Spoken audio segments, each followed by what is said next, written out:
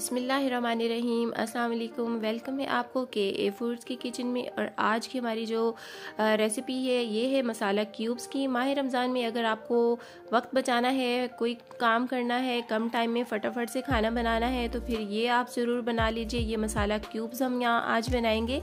इनको बनाने के बाद माह रमज़ान में इफ्तारी के टाइम आपको लहसन, अदरक छीलने का झंझट जो है, वो नहीं करना पड़ेगा। उनको पीसना, कूटना, मसाला बनाना, कूटना, उस सब की बिल्कुल ज़रूरत नहीं पड़ेगी। बस ये वाले मसाला क्यूब्स रेडी करके इनको जो है आप फ्रीज़ कर लें और जिस वक्त सालन बनाना हो, चावल बनाने हो, कुछ भी बनाना हो, बस आप चार पाँच निकालें और सालन में डाल लीजिए। आपका सालन का टेस्ट भी बहुत ही दुगना कर देंगे और बहुत ही ये जो है आपका टाइम भी बचाएँगे। तो यहाँ पे रिक्वेस्ट करूँगी कि वीडियो को पहले लाइक कर लीजिएगा, चैनल पर न्यू है तो सब्सक्राइब कर लीजिएगा और साथ में बेल आइकन को भी ज़रूर क्लिक कर लीजिएगा ताकि मेरी हर वीडियो सबसे पहले आप तक पहुँचे।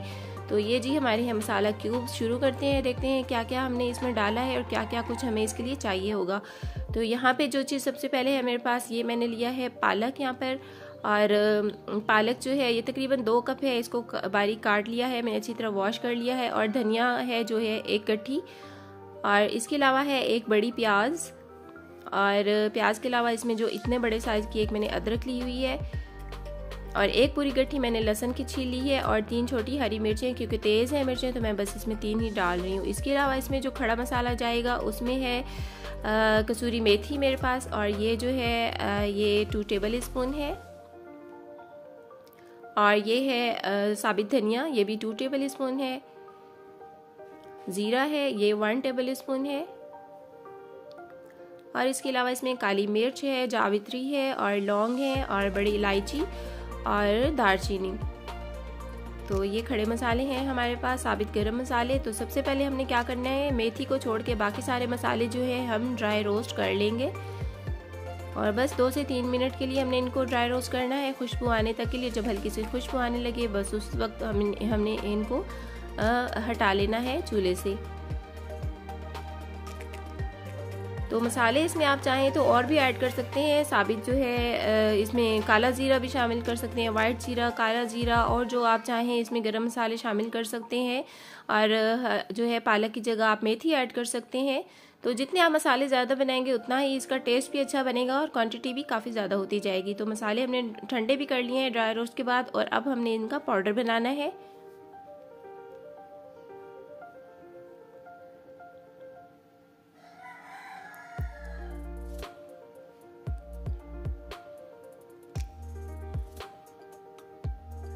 तो बस इनका हमने पाउडर रेडी कर लेना है और ये वाला जो है मसाले और ये सारे मसाले मिक्स होके आपके सालन को इतना ज़बरदस्त टेस्ट देंगे, बहुत ही सबको पसंद आएगा, इसकी वजह से जो सालन बनेगा। कसूरी मेथी भी अब हमने यहाँ पे डाल दी है और इसको भी जो है हमने पीस लेना है। और अब जो, है बारी जो है सब्ज़ मसालों की है तो हमने इसमें प्याज, लहसन, अदरक वगैरह जो है वो सारा इसमें डाल के हमने चॉप कर लेना है। इसको, इसका पेस्ट बना लेना है। इसके साथ थोड़ी सी जो है, हम पालक भी शामिल कर लेते हैं तो ये क्योंकि ज़्यादा क्वांटिटी में है तो हम इन्हें दो तीन डिफरेंट जो है, मुख्तलिफ़ दो तीन टाइम में इसको थोड़ा थोड़ा करके पीसेंगे।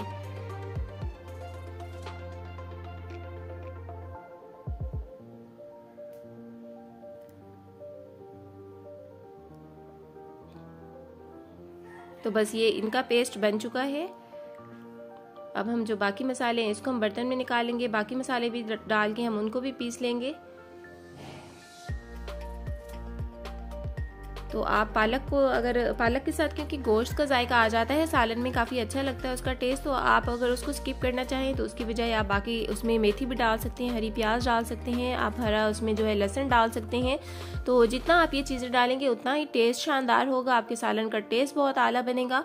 और जो है क्वांटिटी भी ज़्यादा हो जाएगी। तो सारा हमने वो पीस लिया। अब हमने क्या करना है? यहाँ पे हाफ़ कप मैंने पानी ले लिया है पैन में और इसमें मैंने छः चम्मच जो है कॉर्न फ्लोर ऐड कर दिया है। तो इसे मिक्स कर लेंगे और उसके बाद हमने फ्लेम को ऑन कर लेना है। गर्म पानी में डालने से ज़ाहिर है कि गुठलियाँ बन जाता है। ठंडे पानी में डाल के पहले हमने इसको मिक्स करना है। फिर हमने फ्लेम को ऑन करके जल्दी जल्दी चम्मच लाते जाना है और इसको जो है ना लम्ब नहीं बनने देने।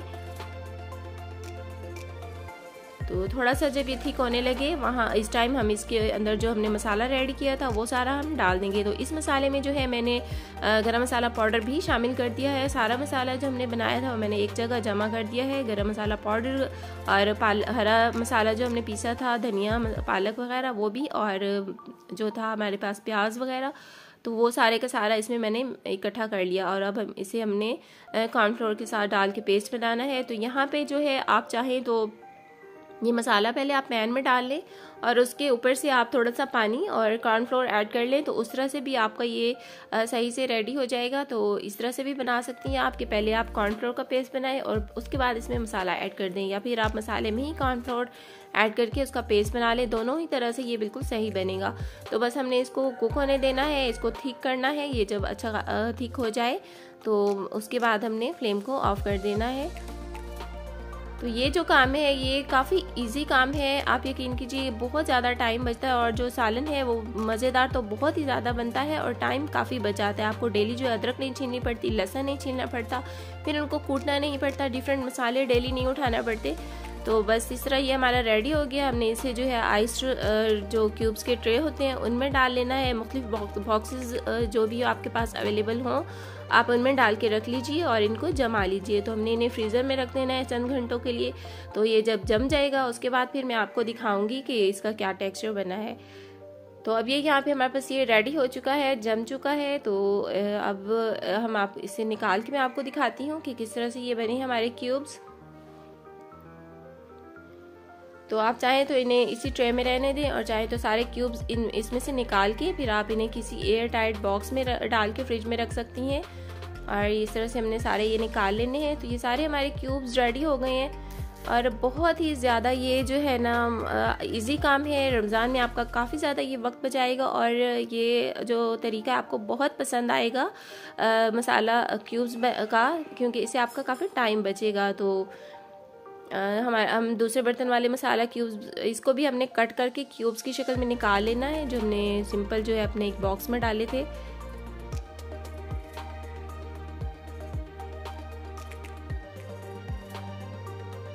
तो ये देखिए, ये हमारे ज़बरदस्त से क्यूब्स तैयार हो गए हैं, मसाला क्यूब्स हमारे रेडी हो गए हैं, सालन के लिए, चावल के लिए, जो भी चीज़ आप कुकर उसमें डालें, बहुत ही मज़े का ये उसको टेस्ट देंगे। और बहुत ही खुशबू बहुत अच्छी आएगी आपके सालन की मसाले आप अपनी मर्ज़ी से इसमें जो है और भी बढ़ा सकते हैं, और ज़्यादा ऐड कर सकते हैं इसमें।